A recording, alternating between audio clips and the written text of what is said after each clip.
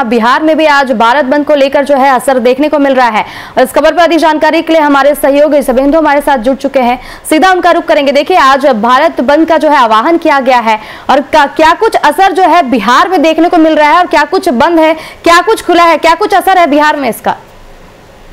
बिल्कुल, अवंतिका, जिस तरह से आज दलित और आदिवासी संगठनों ने भारत बंद का आह्वान किया है, उसका असर कहीं ना कहीं पटना में भी देखने को मिलेगा। और अगर सुरक्षा की बात की जाए तो कल ही जो पटना के एसएसपी हैं, राजीव मिश्रा ने है, पूरे शहर की है, चौकसी जो है बढ़ा दी है जगह जगह पर डीएसपी रैंक के जो अधिकारी हैं वो नियुक्त कर दिए गए हैं ताकि जो उपद्रवी है, उनको रोका जा सके। जिस तरह से सुप्रीम कोर्ट ने जो सुझाव दिया था कि एस सी के अंदर क्रीमी लेयर जो है वो लागू किया जाए, उसके विरोध में कहीं ना कहीं जो है तमाम वो संगठन है, खासकर इंडी गठबंधन के जितने भी लोग हैं, चाहे राजद की बात कर ली जाए सपा की बात कर ली जाए, बसपा की बात कर ली जाए, बीआईटी ने भी जो है समर्थन दिया है। लेकिन जिस तरह से जो सुरक्षा इंतज़ाम किए गए हैं, पटना के जिलाधिकारी चंद्रशेखर सिंह ने भी साफ़ तौर पर भी कहा कहा है कि जो उपद्रवी है, उनको चिन्हित किया जाएगा और कोई भी उपद्रव करने से उनको रोका जाएगा। मैं आपको बताऊँ कि आज बहुत सारे ऐसे स्कूल भी है बंद कर दिए गए हालाँकि प्रशासन लगातार उनसे कहता रहा है कि आप अपने स्कूल को बंद ना करें, लेकिन जिस तरह से बंद का आयोजन किया गया, जिस तरह से पहले ही घोषित थी आज की तिथि की इक्कीस अगस्त को जो है, पूरे भारत में बंद किया जाएगा। उस तरह से वैसा अभी तक कुछ असर दिख नहीं रहा है, लेकिन जैसे जैसे दिन चढ़ेगा वैसे वैसे इस बंदी का असर ज़रूर दिखेगा। मैं बताऊँ कि बिहार में जो है महत्वपूर्ण दो परीक्षाएँ भी चल रही है। नेट यूजीसी की भी परीक्षा है और कहीं ना कहीं केंद्र, केंद्रीय चयन पर्षद बोर्ड के तहत जो है बिहार पुलिस की बहाली की परीक्षा भी चल रही है। तो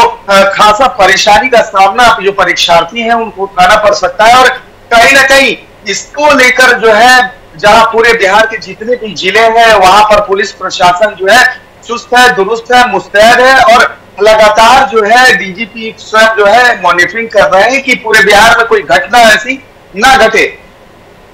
जी बिल्कुल, देखिए, जिस तरीके से आप बता रहे हैं कि छात्रों का जो है परीक्षा भी है और कहीं ना कहीं लोग, क्योंकि बस सेवाएँ भी बंद है, कहीं ना कहीं ज़रूरी काम से लोग भी जा रहे तो क्या ऐसे यात्रियों को भी काफ़ी परेशानियों का सामना करना पड़ रहा है? तो बंद से क्या कुछ नुकसान जो है वो लोगों को हो रहा है? बिल्कुल, अवंतिका, मैं बताऊँ कि बंद के कारण जो आम आम जन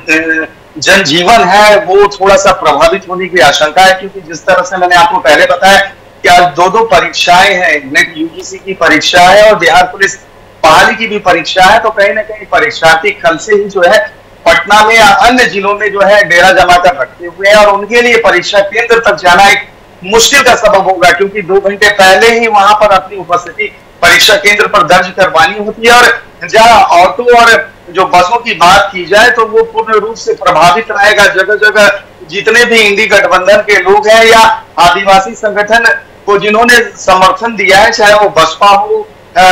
या सपा हो, मैं आपको बताऊँ कि बसपा लगभग 35 साल के बाद ऐसा कोई जो है बंद है, उसमें समर्थन दे रहा है अवंती का। तो कह सकते हैं कि कहीं ना कहीं इससे आम जनजीवन जो है प्रभावित होगा और कहीं ना कहीं परीक्षार्थियों को है, इसके लिए संकट झेलना पड़ेगा, क्योंकि परीक्षा केंद्र पर पहुँचना उनके लिए सबसे बड़ी चुनौती होगी। और जगह जगह जिस तरह से जो है पुलिस बल को तैनात किया गया है, जिस तरह से जो है सीआरपीएफ और सीआईएसएफ की टुकड़ियाँ भी यहाँ पर जो है बटालियन को यहाँ पर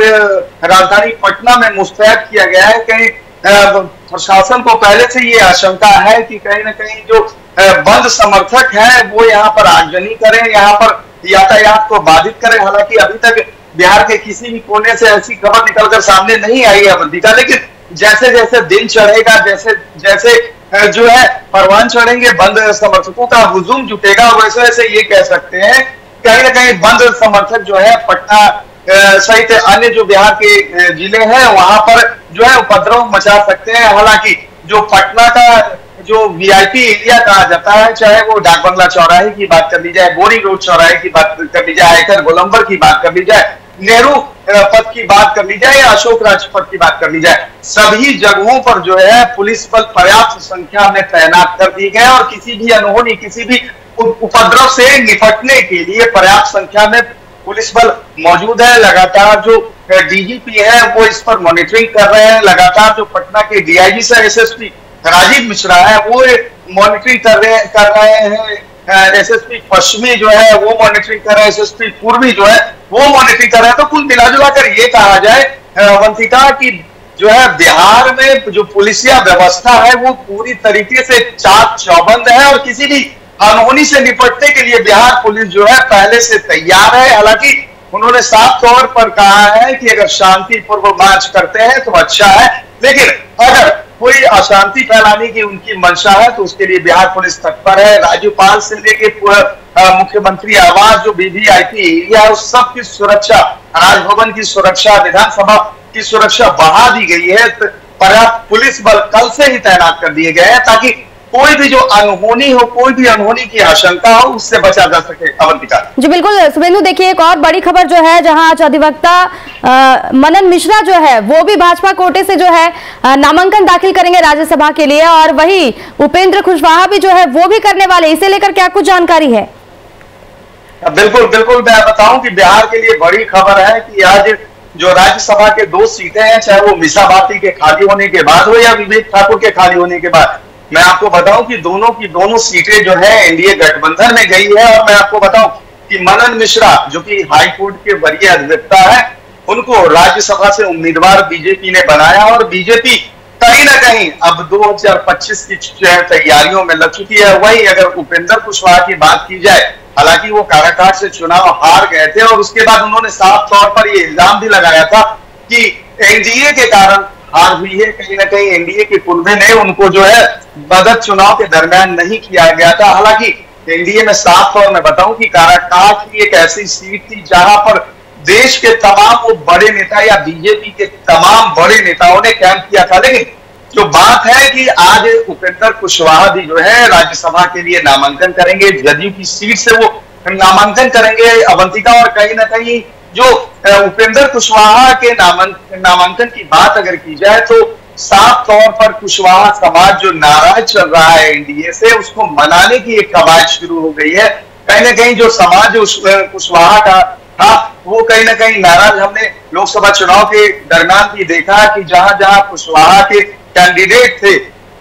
महागठबंधन की तरफ़ से इंडी गठबंधन की तरफ़ से, वहाँ पर एनडीए को वोट नहीं मिला। तो उनको मनाने की जो कवायद है, उपेंद्र कुशवाहा के ज़रिए शुरू हो चुकी है। कहीं ना कहीं बीजेपी ने जो कुशवाहा कार्ड सम्राट चौधरी को प्रदेश अध्यक्ष बनाकर खेला था, वो फेल हो गया था और